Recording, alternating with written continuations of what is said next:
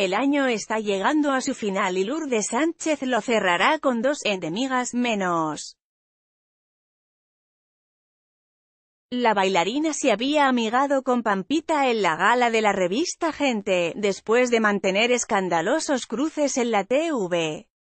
Y en la misma semana, Ángel de Brito contó en Twitter que Lourdes firmó la paz con Marcela Feudale, la histórica locutora de Match, con quien este año intercambiaron fuertes comentarios. Se amigaron arroba Marcela Feudale y arroba Lourdes Sánchez escribió el periodista, junto a una foto de las protagonistas, abrazadas, durante el ida y vuelta de declaraciones, Lourdes había acusado a Marcela de «mentirosa», por afirmar que le había dicho «ameba» a Sol Pérez, algo que la animadora infantil negó. Y en Twitter Feudale llegó a decirle a Sánchez, «haceme el favor de volver al serpentario», desesperada por la tele. Pero todo eso quedó atrás. Lo pasado, pisado.